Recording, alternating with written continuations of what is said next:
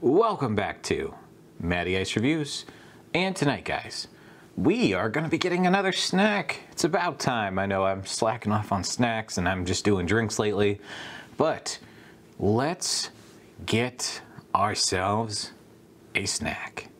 Tonight's snack is going to be from Pringles. Yes, the stackable chips that we love and our, our hands are made just like this so they can go straight in and pull out a whole bunch and shove them in our gullet. I love Pringles. I like most of the flavors, uh, particularly cheddar, sour cream and cheese, and dill pickle, one of their best flavors. So, when I saw this flavor, I thought it sounds interesting, it sounds weird, I want to try it because it's just, there's something about it that just hit me and I was like, yes. Now, I do love picking up these at uh, the grocery store for dinner. They're cheap, they're tasty, and they've got that good salty kind of flavor that's got enough depth to it to keep you coming back for more. So, tonight's flavor of Pringles will be rotisserie chicken. Look at that, guys. Beautiful bird right there. Who doesn't love a good rotisserie chicken, whether it be from Costco or your local grocery store? You get them for like five, six bucks. You can feed a, you family with a couple of them. They're cheap, they're easy. You can take the meat and turn it into just about anything. So rotisserie seasoning is hard to pin down. It's salty, it's got a depth of flavor that's not easy to pin down, but it is oh so good. And I'm a huge fan of rotisserie chicken, and I thought Pringles sounds like a good way to go with it. Salty snack with a little bit of something extra there. So let's uh, look at the back and see what it says. Now it does say that these are artificially flavored, so unfortunately they didn't grind up a whole bunch of rotisserie chicken and sprinkle them on here, so we'll have to deal with that. Okay, we'll do calories per serving. 150 calories per serving, 9 grams total fat, 0 milligrams of cholesterol, good to know.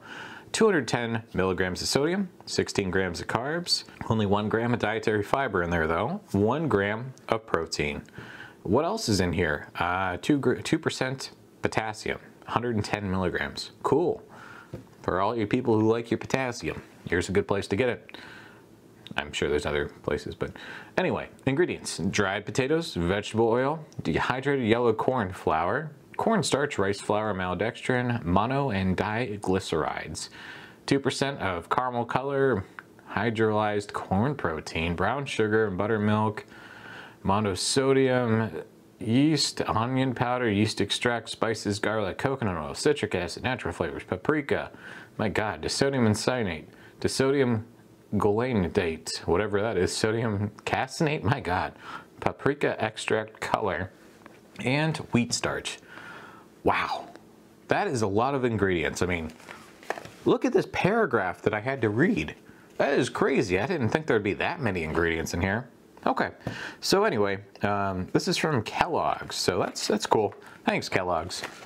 Pop off the top, and we'll pull the foil. Ooh, nice pop.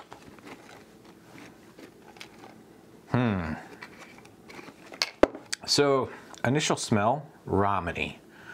Chicken ramen, kind of salty, little bit of chicken bouillon kind of, you know, thing going on. You know what I'm saying.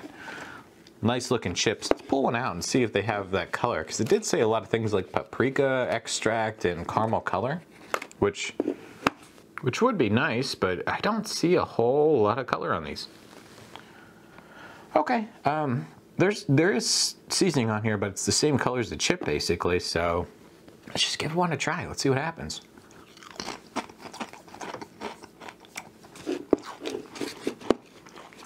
Hmm. Interesting. Again, uh, I can see seasoning on here, but it's it's just not coming up on camera because it's so light. All right, nice little stack right here to try. We got five of them. Let's, uh, let's crunch into it. Very misleading. That is not rotisserie chicken. It is rameny, and it's also got the same flavor as you would find in like a barbecue chip. So I think it's a little bit closer to barbecue chicken um, but almost kind of like uh, you cook chicken on the on the grill, and you had that barbecue kind of flavor there. It's just uh, it's not rotisserie chicken.